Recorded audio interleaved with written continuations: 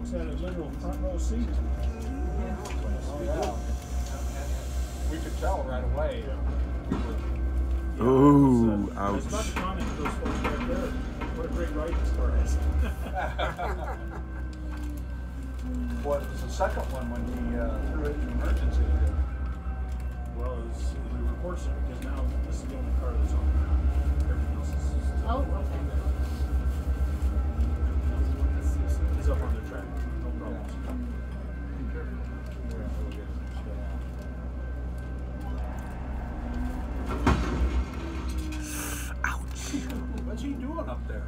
Tearing up the track. He's got a, a re-rail frog under both sides and we're trying to, it looks like he's trying to pull it back up on the track. They're gonna have to inspect